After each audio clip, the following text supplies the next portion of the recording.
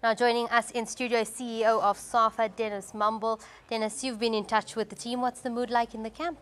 Well, I think it's just uh, it's still good. It's, it's very good, as a matter of fact. Even after the unfortunate loss on uh, uh, on Monday, uh, the team is still. I think they're still in good spirits. Uh, everything that we're getting from everyone there is that this is still a very united team. Mm -hmm. they're there playing for the country, and so I, I think we're all happy that they see it that way.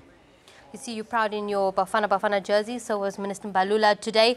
Uh, South Africa is still behind the team, isn't it? Yeah, and we, and we encouraged our, our people. I think the support has been great. You know, on Monday, unfortunately, people got a little bit emotional, but I think it lasted for 10, 15 yeah. minutes. And after that, people came back and said, hey, this is about the country. Uh, and we must continue to support this team. Uh, this team has gone there to fight for us, and, and I think so far they've, they've, they've shown uh, you know, pretty good qualities that I think we can be confident that they will do better. Mm. it's just unfortunate what happened on Monday. Uh, we gave the game away. Shakes Mashaba was unbeaten in 10 matches before that match that we lost. Do you think we're going backwards? Absolutely not. No, absolutely not. Uh, you know, our strategic objective here is we've not really set any targets for 2015. Uh, we've asked uh, the coach to go and build a squad for us for 2017 and 2018, 2018 and 2022 more importantly. And so this is a, a good, it gives us a good idea of what it is that we can expect going forward. Uh, we built a very good squad from the under 17s to the under 20s, and uh, we've taken some of those players into the senior team. They've done well. Unfortunately, Rivaldo is now out. Uh, but that's a good sign for us in the sense that uh, his performance in that team, he's become an anchor in that team.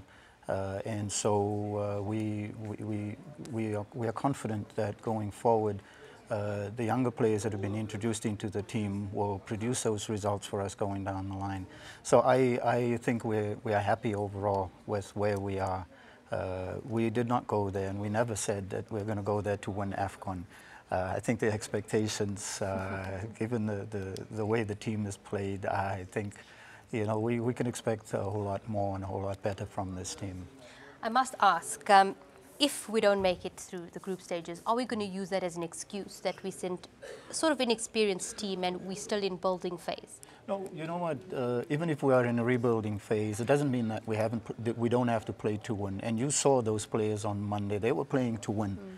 And, and I think that's what we have to be proud of is the fact that they are playing there and, and giving it their all if they, you know, were, were, slacking off and not doing what we expect them to do, like, like any senior team would do, or any national team uh, uh, should be doing, then I think we have something to complain about.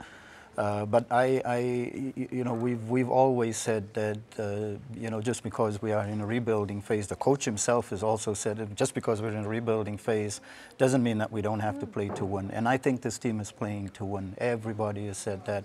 Uh, we are convinced uh, that, that they are there and they are, they're still committed to win.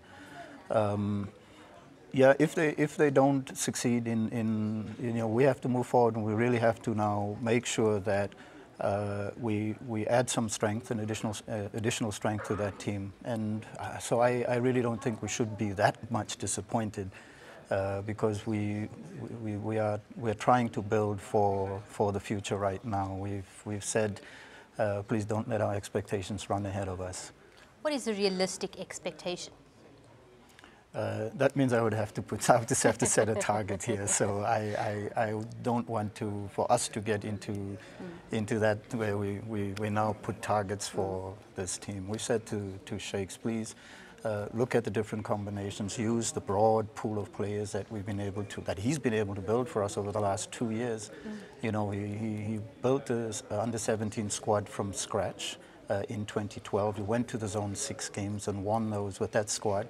Uh, we gave him the under-20 squad a year later. He took the core of that under-17 group and won the COSAFA tournament in December 2013. Uh, now uh, he qualified also for uh, the under-20 and he also assisted uh, in qualification for the under-17 African Youth Championship. And so we have now identified a very broad group of players that we can select from. And so AFCON 2015 is a platform for us uh, to really give that uh, broad pool of players some additional experience. And uh, that's really what we are looking at. This is what we're hoping for.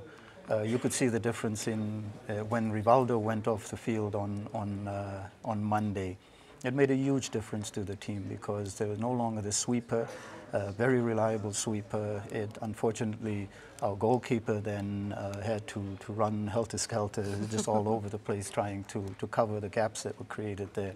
And so uh, we, we are happy with the progress, I think, uh, and, the, and the talent that we've identified. Uh, so I, uh, they said our, our key objective this year, uh, let us do well in the under 17 and qualify uh, for the under 17 World Cup mm -hmm. this mm-hmm. year. Let's qualify for the under 20 World Cup this year. And this AFCON will help us and has helped us already taking a good Absolutely. look at what we can field uh, for those two championships. There's also the Olympic qualifiers that come up this year. So our focus is really uh, let us qualify for as many World Cups as we possibly can this year, and, and let us just have AFCON, in a way, take a back seat without saying, uh, don't go and win. Uh, Senegal are very big players, very tall players. Um, we know the physicality of them. Tough task ahead for um, Friday, and it's somewhat of a must-win game.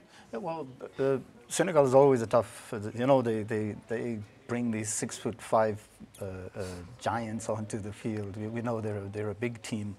Um, you know, at least we have one consolation. Uh, Tower is back uh, from his one-game suspension, and I, I think you know it'll plug some of the, the gaps that, that we experienced on Monday. Um, uh, every team, remember these are the top 16 teams on the African continent, so all of the 16 teams, including ours, uh, is a team to reckon with. It's a tough team. Uh, but we will, I, the coaches said we'll approach that game like we approach any other game. We play our game, we focus on our game, and uh, you know, go and do the best that we can, play the South African game uh, on the African continent. So uh, I think the, from, from what I gather from the coach, that the team is ready for this game.